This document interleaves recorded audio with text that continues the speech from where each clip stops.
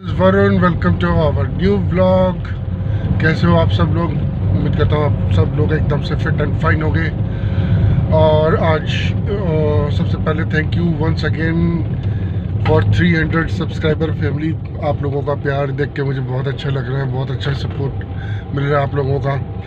और please support ऐसे ही बनाए रखें। प्लीज़ हाँ एक चीज़ और मैं बोलना चाहूँगा व्लॉग के स्टार्टिंग में ही कि यार कुछ लोगों ने सब्सक्राइब तो किया हुआ है, लेकिन बेल नोटिफिकेशन प्रेस नहीं किया हुआ और उन लोगों को मालूम नहीं पड़ता कि मेरे व्लॉग्स का वीडियो आ गया है। तो प्लीज़ आप लोगों से रिक्वेस्ट ये है कि एक बार वो बेल नोटिफिकेशन ऑन कर लीजिए ताकि आप लोगों को वीडियोस जैसे ही ऑनलाइन हो, आप लोगों को नोटिफिकेशन आए और आप लोगों को पता लग जाए। तो thank you once again for 300 family और आज हम लोग काफ़ी दिनों बाद शूट पे निकले हैं। मैं घर से भी बाहर काफ़ी दिन बाद निकला हूँ यार। मेरा, मैंने आप लोगों को बताया था कि मेरा डॉग जो है वो थोड़ा सा बीमार हो गया तो मैं कल डॉक्टर के पास उसको लेके गया था। तो डॉक्टर सेट कि उसको ज़्यादा ही मतलब जॉन्डिस हो चुका है उसको। तो ही सेट कि उसके सर्वाइवल के चांसेस कम है। मुझे पत, मुझे लगता नहीं क्योंकि उम्मीद है कि वो सर्वाइव कर जाएगा लेकिन बहुत ज़्यादा वीक हो चुका है। खाना नहीं खा रहा है। हाँ बस जैसे कभी गाजर खा ली कभी मूली खा ली कभी संतरा खा लिया। संतरा उसने खाना शुरू कर दिया है। एक्टिव है वैसे लेकिन वीकनेस बहुत ज़्यादा है यार। तो उस करके मेरा थोड़ा सा मूड भी ख़राब था तो इस वजह से मैंने व्लॉग्स भी नहीं बनाए। तो I am sorry for that और हम निकले हैं आज आप लोगों को एक स्पेशल बात बताने के लिए कि मैं सोच रहा हूँ कि मैं अपना छोटा सा रेस्टोरेंट बनाऊँ तो उसके लिए आज मैं जगह देखने के लिए जा रहा हूँ। और विजेंद्र भैया मेरे साथ जाएँगे तो हम लोग देखते हैं कि वहाँ पे हम लोग किस तरीके का थीम पुटअप करें उस जगह पे।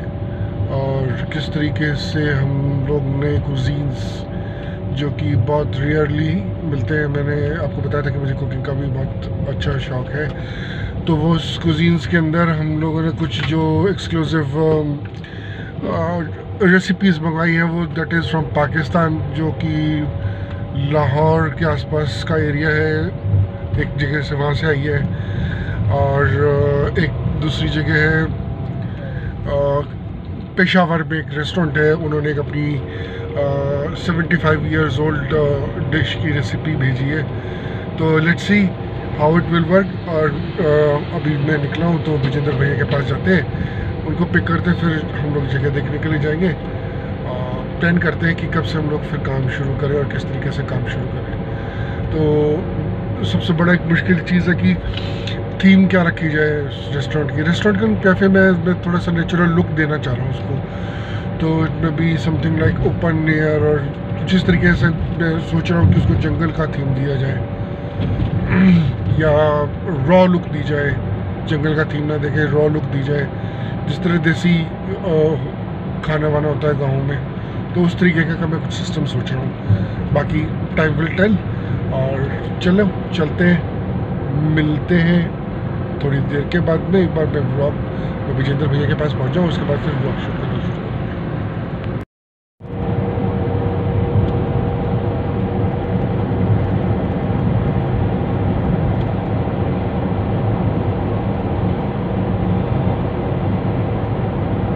ये भाई आजकल मिक्की की डाइट है। वाटरमेलन और ये मिक्की है हमारा। देखो तरबूज के पीछे हाँ हाँ हाँ। अब इसका बस चले तो पूरा का पूरा खा जाएगा है ना? पूरा खा जाएगा ना? पूरा खा जाएगा? पूरा वाटरमेलन खा जाएगा? चलो, इसने ऐसा खाना तो शुरू किया है इसने। इसको खिलाते हैं वाटरमेलन देखिए देखिए, लोग, हम लोग आ चुके हैं अपने घर और घर में मम्मी खाना बनाने की तैयारी कर रही है और मम्मी ने आज बनाया कुछ नहीं। दो दिन की सब्ज़ी रखी हुई थी, वो रही आज पहले वही ख़त्म करो, उसके बाद कोई ये सब्ज़ी बनेगी। चलो मेरी की सब्ज़ी खानी पड़ेगी आज। मिक्की जी हमारे थोड़े से दिमाग में पड़े। यार ये लोग ना, पड़ोसियों ने बड़ा परेशान कर रखा भाई। घर के आगे ऐसे बैठ जाएँगे तो सारा का सारा घर के अंदर का दिखता है। ना तो हम लोग धूप निकल सकते इस तरीके से हम लोगों को करके रखने पड़ते हैं बिल्कुल सामने बैठे हुए तो अच्छा नहीं लगता यार, दूसरों के घर के सामने बैठना क्या बोल सकते हो किसी को? कि बोलोगे आजकल के टाइम पे सर पे आएगा लड़ने के लिए? तो ये, और ऐसा नहीं है कि बेवकूफ़ हैं सारे पढ़े लिखे हैं, समझदार हैं, पर पता नहीं क्या इनको, क्या बोले चलो, चलते हैं एक बार ज़रा मार्केट तक चलते हैं, फिर मिलते हैं, फिर आराम से बात करते हैं। लो जी, हमने कर लिया शॉपिंग शॉपिंग में क्या किया? हम लोगों ने लिया, हमने रस का पैकेट और गोला, पता नहीं मैं उस दिन दिल्ली गया था तो मेरा गला फिर से ख़राब हो गया है जब भी दिल्ली जाता हूँ तब सेम प्रॉब्लम होती है। पता नहीं क्या इशू है दिल्ली से मेरे को। मैं इसलिए जाना पसंद नहीं करता। दिल्ली, जब भी दिल्ली जाओ तो गला ख़राब या कुछ ना कुछ होता रहता है। तो आज मैं एक जी good evening welcome back to the vlog और भैया सारा दिन कुछ नहीं किया। ना कहीं गए, ना कहीं कोई काम किया। आज पता नहीं क्या होता है अल्लाह साला दिन था आज। वो शाम को हम निकले घर से बाहर, शाम हो गई है। तो हमने सोचा कि आप लोगों से बात की जाए। बात क्या करनी है यार? थोड़ा बहुत दिल का गुब्बारा वो निकाल लेते हैं। बाकी बच्चों के पेपर चल रहे तो ये देखो, सारा पार्क खाली पड़ा है। सारा पार्क खाली पड़ा है। अदरवाइज़ यहाँ पे इतनी भीड़ होती है चू चा रात को दस ग्यारह बजे तक बच्चे खेलते रहते हैं यहाँ पे। यहाँ भी है कि इसके, इस ये वाली जो बिल्डिंग दिख रही है, इसके पीछे भी एक पार्क है। तो वो वाला बड़ा रहता है। आजकल के बच्चों के एग्ज़ाम्स हैं तो शांति रहती है बहुत ज़्यादा। और आज हुआ क्या कि मैं थोड़ी देर पहले यहाँ पार्क में बैठा था। मेरे बाल देख के एक भाभी आई और आके मेरे से पूछने लगी कि आप अपने बालों में क्या करते हो जो इतने सिल्की हैं? सिल्की है? सही में। बाल तो सिल्की है मेरे। और मैंने कहा, कुछ नहीं, मैं कुछ नहीं लगाता डेली शैम्पू करता हूँ। शैम्पू या और कभी मैंने तेल नहीं लगाया। तो हाँ रेगुलर हेयर वॉश ज़रूर मैं करता हूँ। नहाता नहीं हूँ, उस दिन तो कर ही लेता, उस दिन नहीं करता, लेकिन बाकी बाकी टाइम में कर लेता हूँ। तो ऐसा मैंने कुछ कभी सीरम वगैरह कुछ यूज़ नहीं किया। नेचुरली मेरे बाल बड़े बढ़ रहे हैं। तो कुछ ऐसा मैंने किया नहीं है कभी भी। और ब्यूटी केयर में भी मतलब स्किन केयर पे भी मैं इतना ज़्यादा कुछ नहीं करता, सिर्फ़ हाँ अपना फेस वॉश यूज़ करता हूँ क्लीन एंड क्लियर वाला। बस, और उसको यूज़ करते हुए मुझे लगभग सोलह सत्रह साल हो गए तो बस वही यूज़ करता हूँ, ज़्यादा मैं कॉस्मेटिक्स यूज़ नहीं करता। और एक दो दिन बाद आया था तो थोड़ा चमक भी रहूँगा मैं, है ना? वही एक न्यूज़ भी देख रहा था मैं, हमारे जो पड़ोसी हैं। पाकिस्तान, भिखारिस्तान। वो धमकी दे रहे हैं हम लोगों अबे खाने को दाने नहीं है और दुनिया से चले जिहाद करने। तालिबान ने बैंड बजा रखा उनका। चलो छोड़ो, हम लोगों को क्या करना है? जैसा बोएँगे वैसा काटेंगे। पर एक बड़ी दुख की खबर ये है कि आज मैं सुबह न्यूज़ पढ़ रहा था, अमृतसर में खालिस्तान दोबारा से सर उठाना शुरू कर दिया। पुलिस स्टेशन पे उन लोगों ने अपने साथी को छुड़ाने के लिए तलवार और बंदूकों से अटैक किया उसके ऊपर। तो ये गवर्नमेंट को ज़रा अपना ध्यान में रखना चाहिए और बहुत तेज़ी से काम करना चाहिए इसके ऊपर।